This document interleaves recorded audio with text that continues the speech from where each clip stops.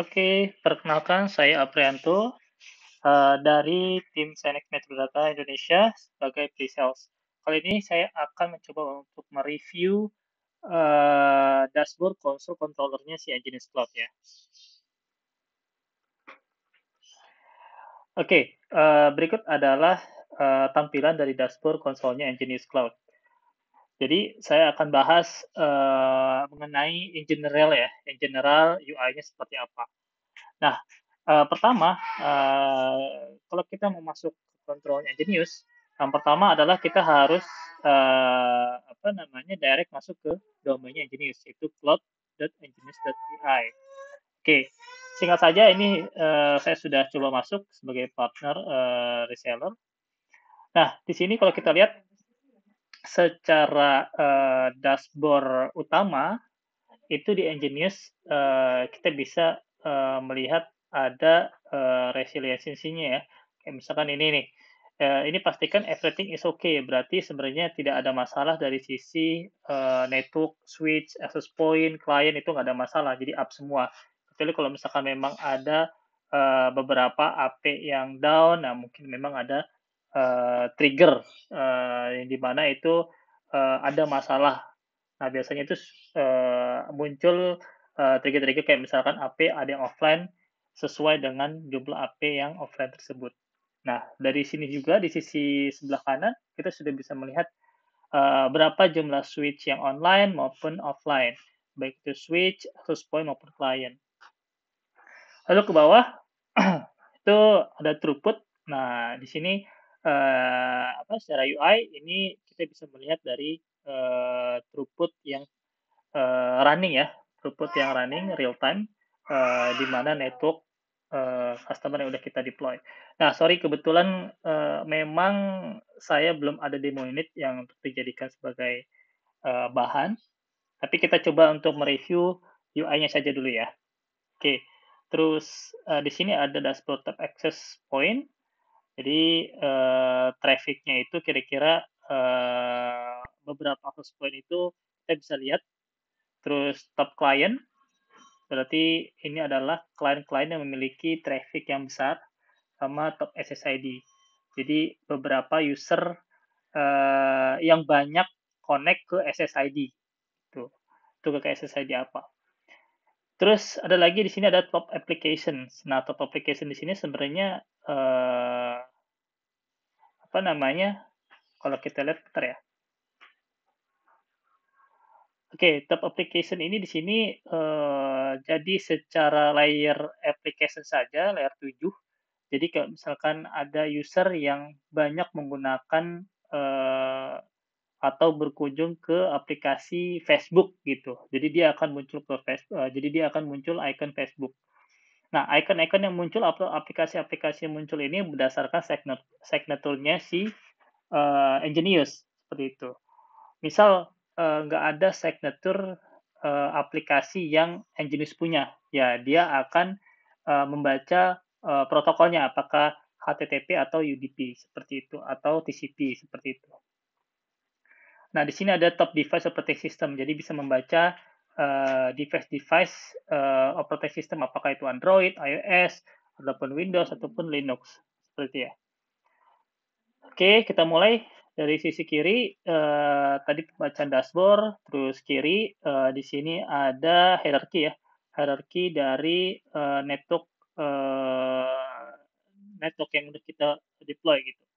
Nah, uniknya dari Nginx kita bisa uh, melakukan multiple domain ya. Baik itu uh, jadi fungsinya itu multiple domain itu adalah untuk uh, memilah polisi-polisi yang udah kita buat. Jadi tidak bercampur aduk. Seperti itu. Terus lanjut di sini ada gambar komputer, ini manage, tadi dashboard, terus ada access point. Nah, di sini uh, list-list access point-nya uh, akan muncul di sini, sudah number-nya, terus model access point tersebut, terus channel yang digunakan, terus IP WAN-nya berapa, IP LAN-nya berapa, terus uptime-nya itu sudah berapa lama, firmware version-nya itu uh, versi berapa. Nah, seperti itu. Maupun di sini kita ada map. Nah, jadi map ini uh, kita bisa buat ya, kita bisa buat map ataupun kita bisa custom dengan uh, map yang sudah kita buat seperti itu. Nah, tadi berdasarkan uh, geologi ya, geolocation map. Nah, sekarang kita berdasarkan building uh, floor plan-nya. Nah, kalau misalnya kita punya layout, kita bisa tambahkan di sini. Seperti itu. Terus next, tadi kita ke sekarang ke switch. Nah, di sini ada menu switch, di mana kita juga bisa manage switch ya. Jenis bisa manage switch. Kurang lebih tampilannya sama, uh, itu ya ada serial number, ada model name, ada WAN IP, LAN IP, terus uh, firmware versionnya, uptime-nya, last update-nya gitu. Ataupun kita juga bisa uh, lakukan uh, add switch-nya ya dari inventory yang udah kita buat. Inventory ini maksudnya adalah uh, register switch yang udah kita coba register gitu. Jadi dia ngambil ke dashboard register switch. Terus topologi. Nah, bagusnya dari Nginx adalah uh, di sini ada fungsi atau feature topologi. Jadi Nginx bisa membaca device-device lain Nginx secara topologi gitu. Jadi kalau misalkan pakai jenis pun bisa masih bisa terbaca kayak misalkan mungkin Rakus atau Cisco gitu. Jadi overall uh, topology view ini adalah uh, secara otomatis akan membaca link-link uh, dari engineers ke arah mana, downlinknya, uplinknya ke mana gitu. Uniknya adalah kita bisa mengaktifkan uh, versi Pro yang di mana uh, versi Pro ini akan membaca produk-produk selain Engineers. Terus di sini juga ada dashboard UI untuk klien ya. Nah, di sini bisa terbaca throughput-nya, terus aplikasinya yang uh, sedang digunakan gitu. Terus balik lagi ke configuring. Nah, di sini configuring banyak, uh, bisa configure SSID, Nah, SSID, kita bisa buat tambah SSID. Nah, SSID kita buat ya ada banyak autentikasi yang uh, engineers approach. Tapi memang ini standarnya uh, autentikasi enterprise ya. Jadi ada WPA2 PSK, ada WPA3 PSK, ada WPA2 Enterprise, ada WPA3 Enterprise. Seperti itu kita juga bisa setting radio kita juga ada di sini ada protokol untuk fast roaming gitu oke dan juga di uh, wireless nah, kita kita bisa menyesuaikan dari sisi VLAN SSID tersebut terus ada fungsional untuk uh, bandwidth limit. Bagaimana kita bisa men, uh, apa, melakukan limitasi bandwidth per SSID terus captive portal splash page uh, scheduler terus access control juga kita bisa lakukan gitu ya. Terus berikutnya adalah radio setting. Nah di sini adalah radio setting. Jadi radio setting uh, kita bisa uh, konfigurasi uh, berdasarkan channel terus powernya gitu ya. terus client limitnya berapa kita bisa lakukan uh, konfigurasi seperti itu ya Nah, di sini juga ada UI untuk cloud user. Nah, uh, sorry, ini uh, cloud user ini berkaitan dengan uh, radius. Jadi user-user uh, atau uh, yang akan kita coba konekkan ke third party uh, database gitu, seperti radius atau yang lainnya. Terus selalu ini map SK user, ini kebutuhan untuk uh, pre-share key ya, pre-share key user. Terus VMware upgrade. Nah, bagusnya juga dari Engine kita bisa lakukan uh, upgrade secara scheduler. Jadi uh, tidak membani bandwidth dari uh, user gitu. Jadi kita bisa lakukan misalkan, wah untuk mengupdate-nya butuh uh, bandwidth yang cukup banyak. Kalau misalnya kita lakukan di office hour, itu bandwidth akan uh, konsumsinya akan terlalu peak banget. Jadi kita coba scheduler untuk jam-jam di luar office hour. Gitu. Terus di sini ada alert setting. Nah, alert setting ini uh, apa digunakan uh, kalau misalkan ada access point yang offline. Nah, ini alertnya itu seberapa lama setelah uh, access point itu offline. Misalkan ada access point offline, maka dalam satu menit akan akan uh, men-trigger suatu alert gitu ya. Nah, di sini ada VLAN. Seperti biasa, kita bisa lakukan uh, konfigurasi VLAN sesuai dengan kebutuhan. Terus uh, di sini ada switch setting. Nah, kita bisa lakukan konfigurasi switch ya. Nah, di sini ada uh, konfigurasi spanning tree protocol STP, LLDP, terus voice VLAN, terus ada lagi uh, untuk QoS-nya, terus IGMP snooping, jumbo frames. Lalu kita juga bisa lakukan menggunakan template kita sendiri seperti itu. Misalkan ECS 128 gitu ya.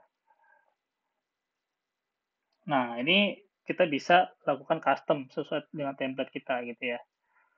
Ini contoh, uh, kita menggunakan template.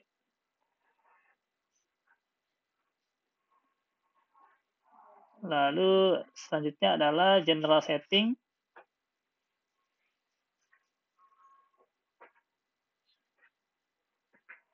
Nah, general setting ini uh, konfigurasi general ya.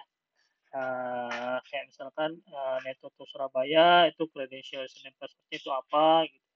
Tapi ini uh, in general. Jadi ketika in general berarti uh, mengubah uh, semua konfigurasi ya. Tapi switch. Terus di sini juga ada access control, ini untuk kebutuhan untuk policy. Ya, kita bisa lakukan blocking melalui fitur ini.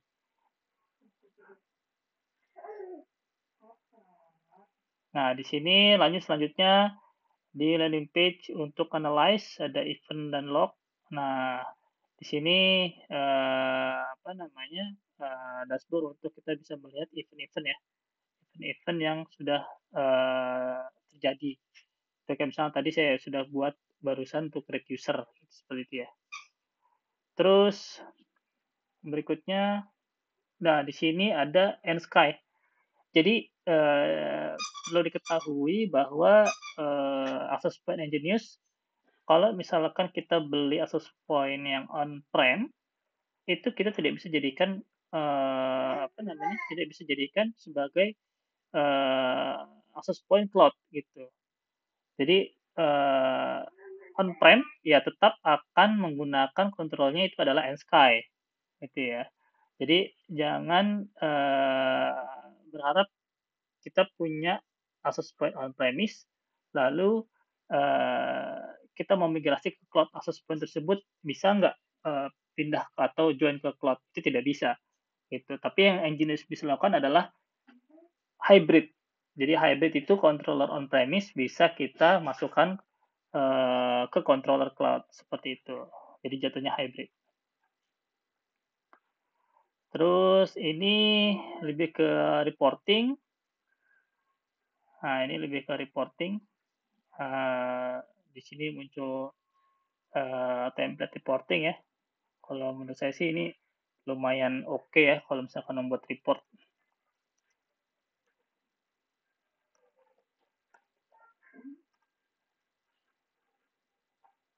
Nah, base kontennya apa yang uh, mau kita masukkan, uh, report-reportnya seperti apa. Terus ini konfigurasi networknya mau yang mana, seperti itu atau bisa semuanya. Nah, ini confirmation artinya make sure semuanya sudah oke okay, baru kita apply. Seperti itu. Terus berikutnya adalah uh, user ya. User. Di sini saya bisa tambahkan invite uh, member user baru. Nah, uh, kita bisa jadikan user tersebut privilege-nya itu apa gitu. Misalkan saya mau buat uh,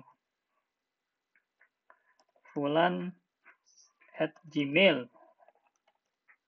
Nah, di si fulan ini kita bisa lakukan apa nih fulan nih permissionnya apakah viewer ataukah admin seperti itu ya tentunya dengan uh, privilege yang berbeda secara uh, akses juga berbeda gitu. Jadi kalau misalkan admin ya bisa uh, full access seperti konfigur seperti konfigurasi dan lain-lainnya. Tapi kalau misalkan viewer ya dia hanya sebatas uh, view saja, dia hanya sebatas untuk show-show saja. Oke, selanjutnya itu adalah organization. Di sini ada inventory. Nah, inventory di sini kita bisa melakukan register device ya, atau bagaimana kita bisa menjoin uh, device access point ataupun switch di menu ini seperti itu. Baik itu menggunakan serial number atau menggunakan barcode seperti itu. Nah, biasanya kalau misalnya kita nggak mau repot, ya kita bisa pakai mobile app ya. Bisa pakai mobile app di Enginius uh, itu namanya Engineers Cloud Mobile App ya bisa download baik itu di Android maupun di uh, iOS itu jadi uh, simple banget sih ya simple banget untuk uh, provisioning uh, device-nya ke controller And ini uh, terkait masalah license ya terus selanjutnya itu security nah security di sini ada 2FA 2FA itu apa? Two uh, two factor authentication. Nah, jadi itu uh, factor authentication ini ketika di enable maka uh, akun akun saya itu akan melakukan uh, multiple autentikasi. Jadi ketika login maka butuh yang namanya uh, Google Authenticator ya. Google Authenticator. Jadi di handphone kita uh, itu kita harus install Google Authenticator berdasarkan dari uh, barcode yang ada gitu barcode yang ada di uh, akun saya gitu ya nah, misalkan di sini ya. Nah jadi berdasarkan akun ini. Nah jadi uh, dari Google Authenticator terus di scan ke sini maka dia akan muncul uh, tokennya. Token kode uh, 2FA-nya jadi ketika uh, saya masuk ya saya harus minta Google Authenticator itu. Gitu. Jadi ini security-nya lebih uh, deep lagi. Terus ini privacy ini lebih ke uh, exposure analysis. Jadi uh, kita bisa melihat uh, apa namanya timeline uh, timeline client berdasarkan koneksi per access point-nya gitu ya. Terus di sini ada backup and restore. Nah, kita bisa lakukan backup uh, di menu ini ya. Maupun kita juga bisa melakukan restore. Oke, sekian dari saya untuk mereview uh, feature-feature dari Engineer secara in general. Uh, sekian dan terima kasih. Mungkin nanti next sessionnya kita akan bahas lebih detail lagi. Thank you.